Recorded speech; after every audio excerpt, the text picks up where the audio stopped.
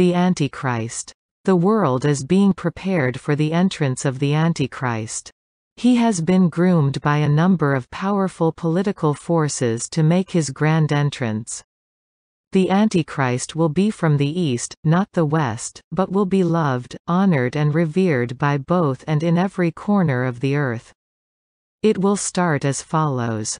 The Antichrist will quickly bring about, with the help of the enemies of God, a war between two nations headed by two stubborn and powerful leaders.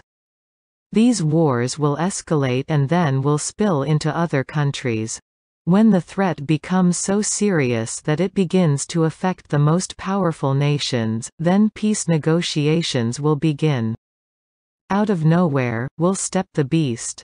And with a skill that will impress the world, he will bring to an end the wars.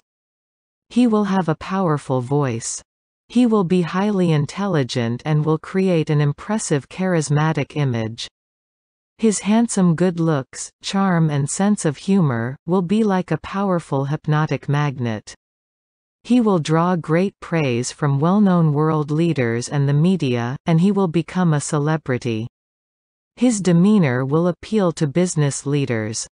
So special will the Antichrist appear, that nations will clamor over themselves to encourage him to visit their countries. He will be loved and will copy the last detail, every moment of my mission, when I walked the earth. Preaching of the importance of love, peace and the importance of unity among nations, he will be seen to create great wonders, wherever he goes. This is not a man like any other. This is not a man like any other charismatic figurehead. His star will shine and glitter, like no other before him. He will be seen as a figurehead of the one-world humanitarian religion. The so-called success of this abomination will be attributed to him.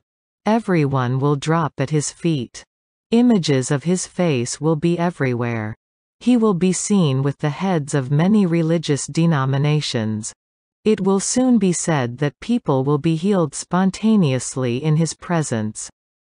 Through the power of Satan, he will be able to create acts, which will shock many and these will be deemed to be miraculous. By then, to the ignorant, he will be seen as the Messiah. He will then hint that he has been sent by God to save the world. Many, including those in the world who do not accept my existence, will be persuaded that this man is the Son of Man, Jesus Christ.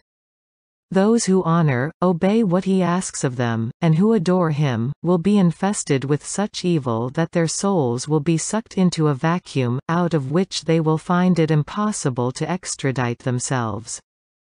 Those who know the truth of my teachings will recognize the deceit, which is placed before the human race and they will withstand this abomination. Friday, April 26, 2013 at 12.30 p.m.